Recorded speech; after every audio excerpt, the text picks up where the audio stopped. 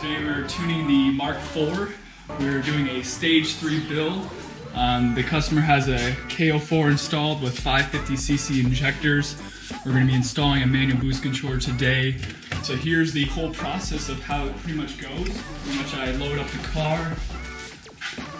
We go over the basics, make sure there's no fault codes or anything.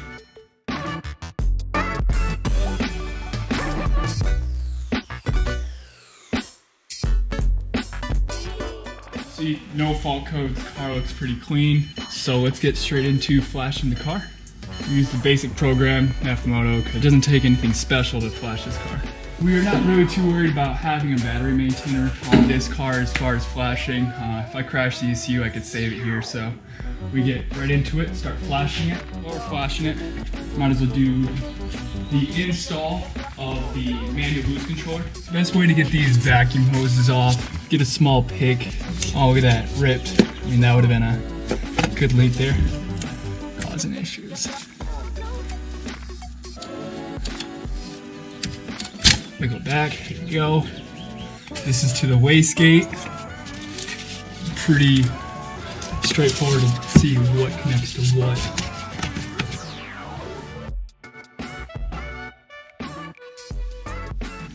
There. Bang, bang. Okay.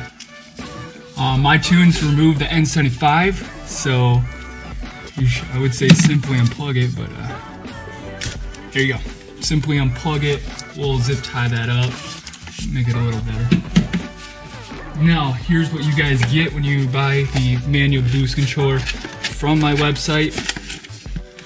Um, customer went with red. You do get upgraded springs, uh, attaching hardware, um, nipple if you need to. Comes with vacuum hose.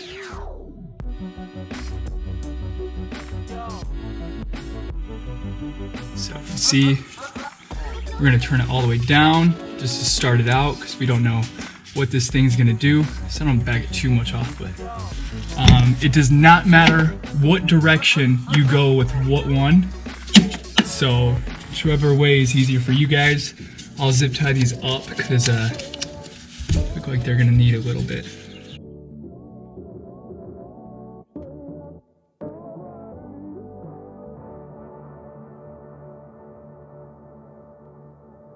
It's very important to make sure these hoses do not blow off, especially to the wastegate.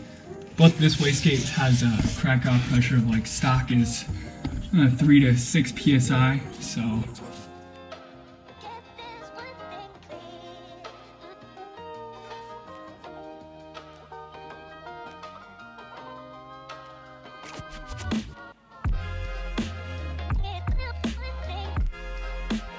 See how nice? That's a that's a tight fit. That's that's what we want.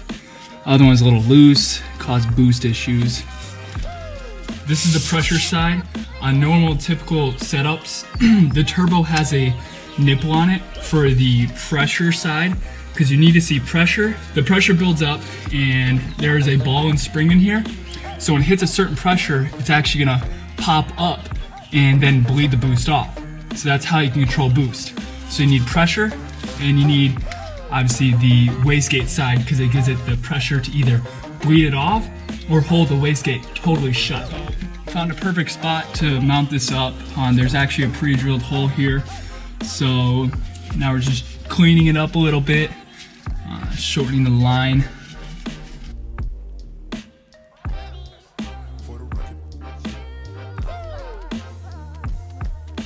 You don't want to really keep this low because the exhaust manifold right there, um, these hoses are rubber, so not the best for uh,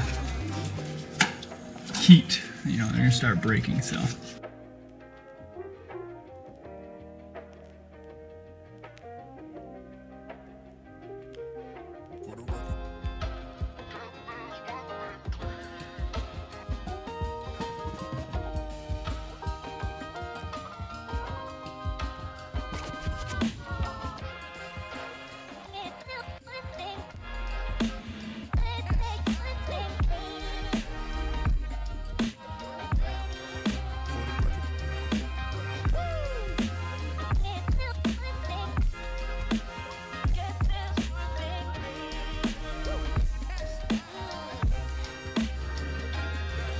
Just want to make sure these hoses, you know, they're not wiggling around because if you cut that on the manifold, you're gonna have pretty good boost, but uh, you might send a rod through the bottom of the block. Because this is a stock block on a KO4, which is safe as long as it's not too torquey and you're not on E85.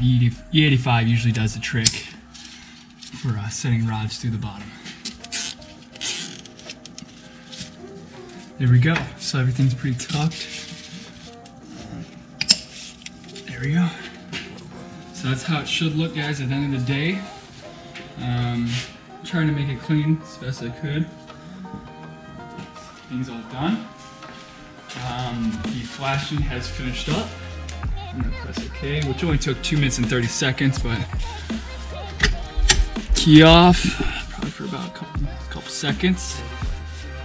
Whenever doing engine control, module swapping, ECU swapping, or programming, you always want to adapt the throttle body.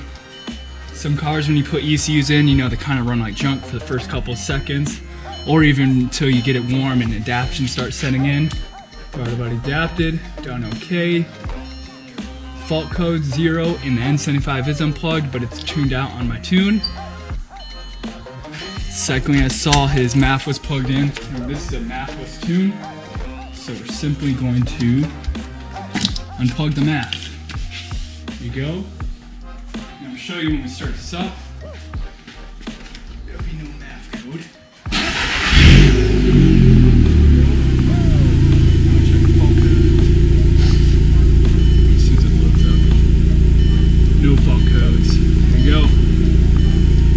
So we're gonna go out for our base run. Um, we're gonna see the fuel trims, check over the data.